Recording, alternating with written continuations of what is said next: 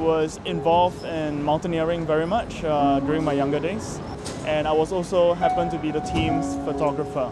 After photographing my teammates uh, on many Himalayan expeditions, eventually I felt that this was a career path I wanted to, to go on. I'm very interested to do projects that ask questions that provoke people into thinking about a certain topic. And more importantly, I, I want my personal projects to be useful. My family started rich, and then when I was born, suddenly they became poor.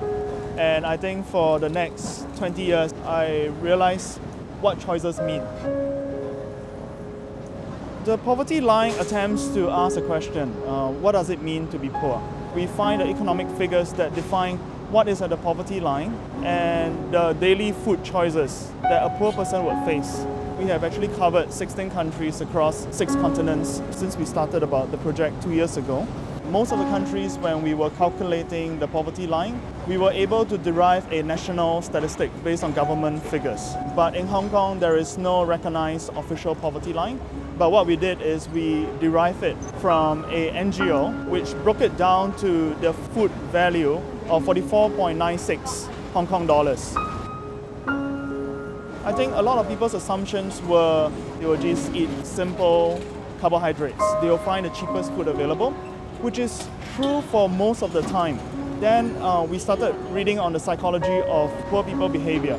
And what we find is they have the same desires as what we do. Meaning that if they could have a dessert, a nice meal, um, perhaps once or twice a year, they will do it. So I decided to actually uh, cut across what would be a normal diet within Hong Kong itself.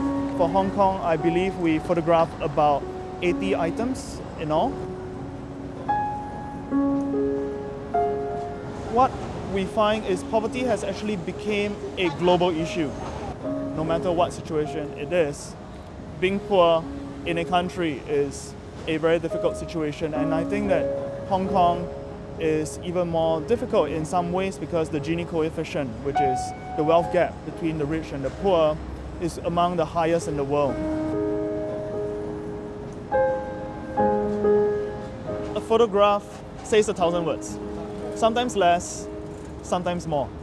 Documenting the less privileged for me has always been an aim because I feel that they are the ones often with a lesser voice. I'm just adding, you know, one of the zigzag pieces to what many other photographers, artists are doing as well. And I feel that I'm just doing my small part in this whole puzzle.